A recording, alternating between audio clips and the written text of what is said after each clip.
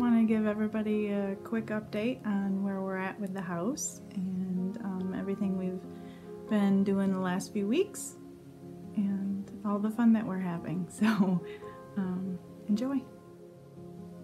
I feel like it's been a whirlwind the last few weeks, but we are making good progress.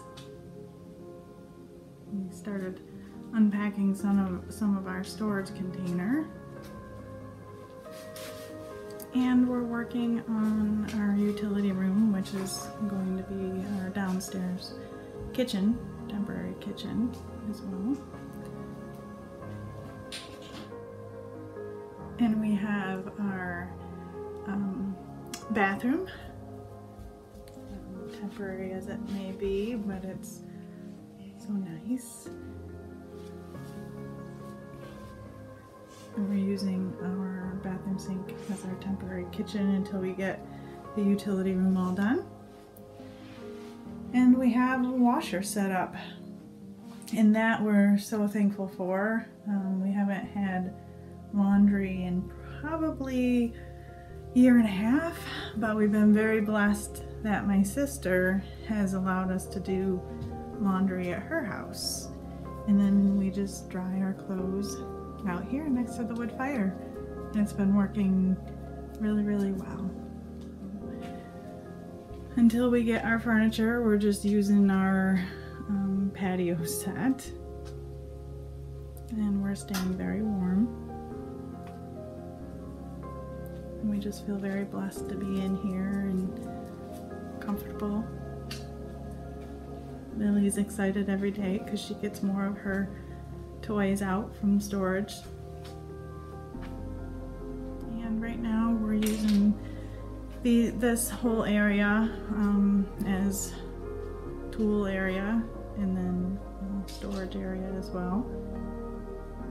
And this will eventually be my office and Dave's office. But right now, it's a nice spot to just keep the majority of stuff. So I'll show you some pictures of um, the last few weeks of getting stuff ready.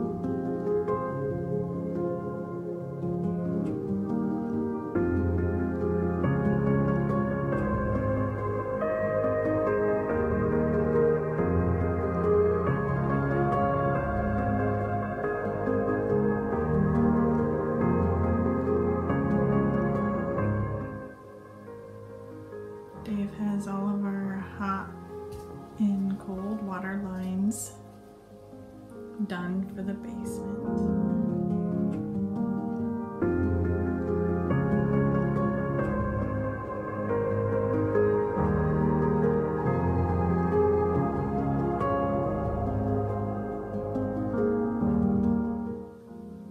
And we have our shower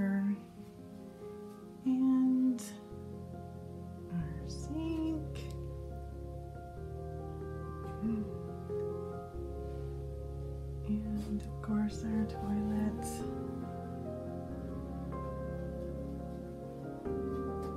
And our washer. We're very excited to have nice warm water. In the camper, the hot water uh, tank was about two, three gallons. So even taking showers, we had to um, shut the water off every few seconds and do whatever we could and then just rinse. So now to have a 50 gallon hot water tank, we're loving it.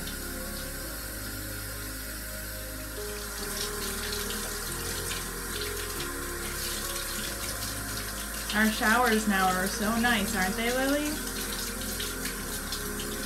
What did you say the first time you took a shower in our house? I didn't want to get out of bed.